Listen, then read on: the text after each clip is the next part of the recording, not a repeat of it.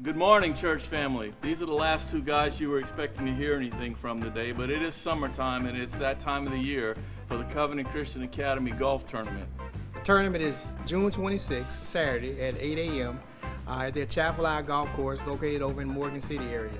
Uh, registration inf information will be sent out to you guys. You'll see it on the websites. It's on the websites for the school and the church will also have it.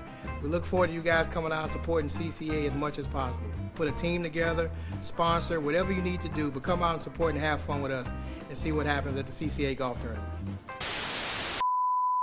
Ooh, that wasn't too bad, was it? We got it on the first take, Troy. I know. I heard you got a ringer coming in. Uh, no, no, I had a ringer. Pastor Steve stole him from me. Just He, like he'll be playing for Pastor Steve. Uh, I do have a secret weapon, though. I got a new driver I'm going to be using this year. It's more accurate, it's easier to hit, but we can't tell them about it because it's a secret. But this will be my new driver. What? Yeah, I'm figuring I can just toss the ball up and whale away and hit it. That ought to work, right? But What? most importantly, you know, I struggled on the greens, right? Yeah, you Remember did. that you gave me a lot of grief about not being able to hit a putt? I got a new putter. I got the the, the uh, Ronco Popeil putter. It's a putter that's actually equipped with a scope on it. Are you going hunting or something? No, I, but it's gonna. I'll be able to look at the ball and see it better, magnify it. It's just gonna help my vision.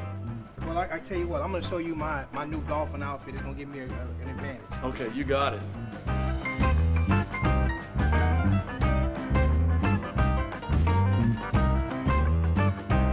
What are you wearing? I'm channeling my inner golf.